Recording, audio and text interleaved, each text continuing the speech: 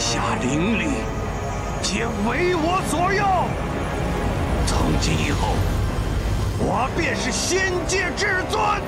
谁若不从，我便将他打成齑粉！哈哈哈哈哈！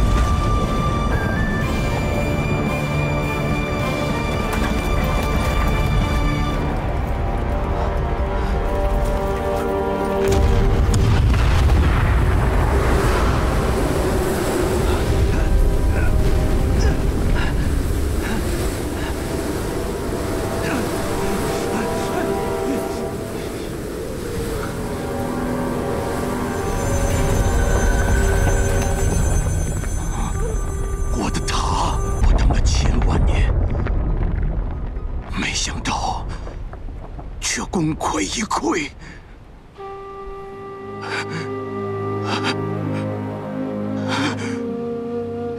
季若成，这到底是怎么回事啊？傻丫头，还不明白吗？这小子设了个局，把我们都给骗了。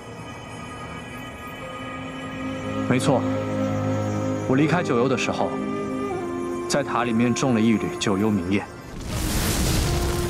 一叶。你说我该怎么办？也有可能这一次，我们的好日子真的来了，该是时候结束这一切了。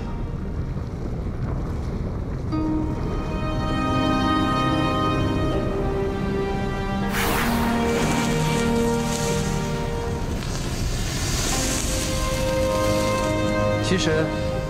我根本没有改变过回塔的初衷。如果当时我要是回塔的话，那幕后的凶手是揪不出来的。所以魔君，你才设下此局，让所有人都以为你早已放弃回塔。对方在你的麻痹下，自然欢天喜地的吸食天下之灵气，直至发现那一缕九幽明焰。这样一来。塔也毁了，幕后之人也被揪出，一箭双雕。佩服。季先生又何必太自谦呢？我就算瞒得过天下人，我也瞒不过季先生。什么意思呀？无尽海一战，你叔叔可是放了水的。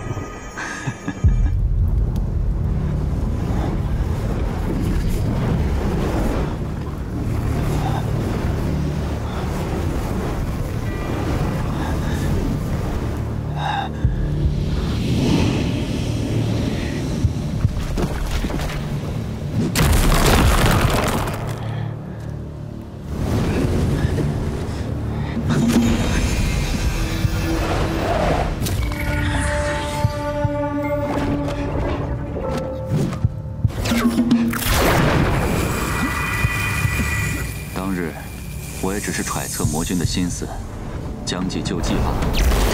其实，假如你我二人真的对战，我也不会是魔君你的对手。季先生过谦了吧？季若尘，你为什么连我都骗啊？对不起，娘子，我实在没有别的选择了。看来若尘早就在修罗塔里暗藏了杀机呀。但是师兄，方才您说暂时无虞是何意？莫非还会有变故？若臣设计回塔，那筑塔之人千万年的心血付之一炬，其怒气填胸，势必会现身寻若臣报仇。只怕是又要有一场恶战了。掌教师兄的意思是，若臣为了天下舍身忘死，我这做师傅的岂能坐视不理？待老夫去助他一臂之力。师兄，诸位，西玄派就交于你们了。